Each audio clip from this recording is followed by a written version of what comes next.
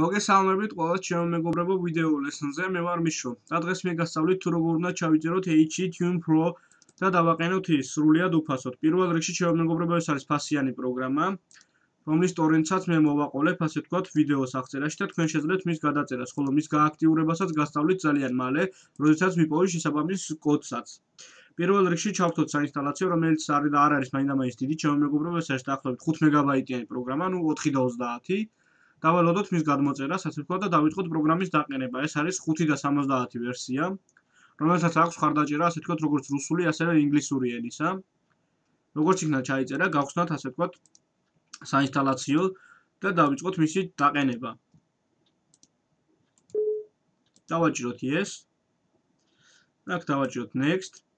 ну ავირჩიოთ რა თქმა უნდა დავეთანხმოთ სალიცენზიო მოთხოვნებს დავაჭიროთ ისე და ისე next აქ არ შევცვლით არაფერს შემდგომ დავაჭიროთ yes create a desktop icon მონიშნეთ ჩემო მეგობრებო გამომდინარე იქიდან რომ ამ შემთხვევაში იკონი გამოვარდება პირდაპირ desktop-ზე.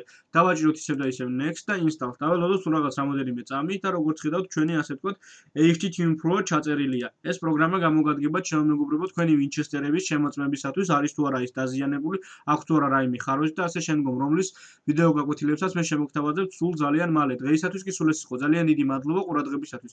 თუ რაიმე შეკითხვა გაგიშტათ, დაწერეთ კომენტარებში ან მომწერეთ Skype-ში. მიშო 1207